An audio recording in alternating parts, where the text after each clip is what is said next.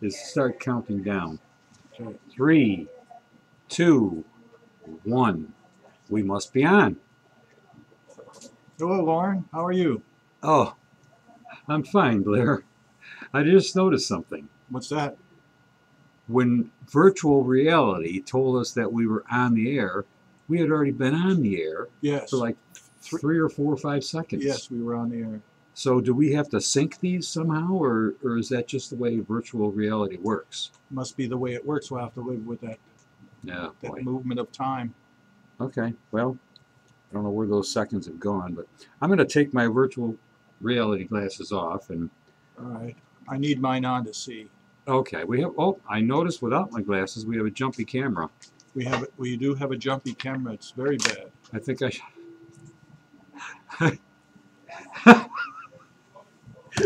Look at how far behind myself I am now.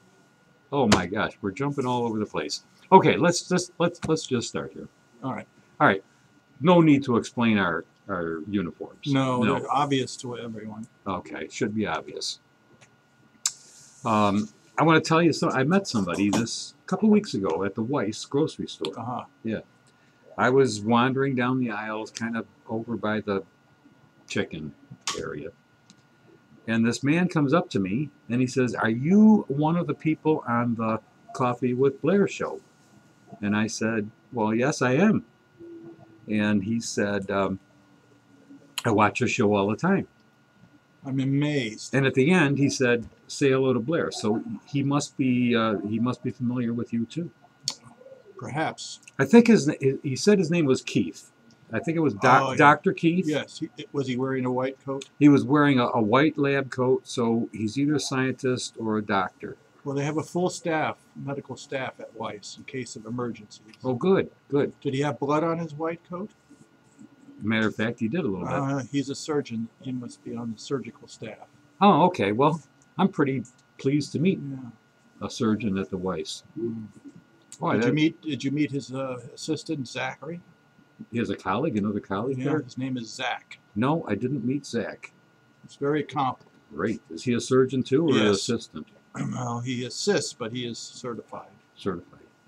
Well, that's great. Yes. Well, he asked me a question. He said, When are you guys going to be putting out another program? We haven't heard from you in a long time. And I said that, um, you know, we'll be putting one out soon, but this is what you can do. What's going on with this thing?